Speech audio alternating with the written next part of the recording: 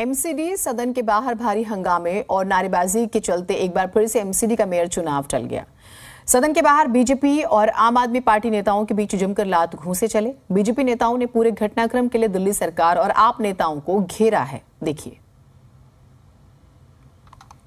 Mayor नहीं मिल पाया। हाँ। हाउस एडजर्न करना पड़ा है क्योंकि दोनों तरफ़ से हल्ला हो रहा है और ऐसी स्थिति हाउस चलाने के लिए उपयुक्त तो नहीं है। अब ये क्यों विरोध हो रहा है?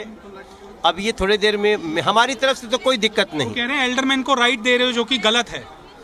भाई एल्डरमैन को राइट संवैधानिक रूप से है वोट देने का।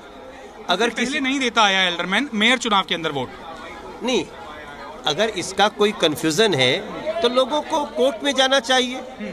संवैधानिक रूप से पता चल रहा है लीगल जो हमारे असिस्टेंट देने वाले हैं वो बता रहे हैं कि दे सकता है। आपको लगता है आम आदमी पार्टी की वजह से एक बार फिर से टल गया चुनाव?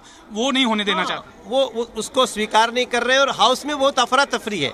एग्जैक्ट क्या कारण है मैं आपको नहीं बता सकता।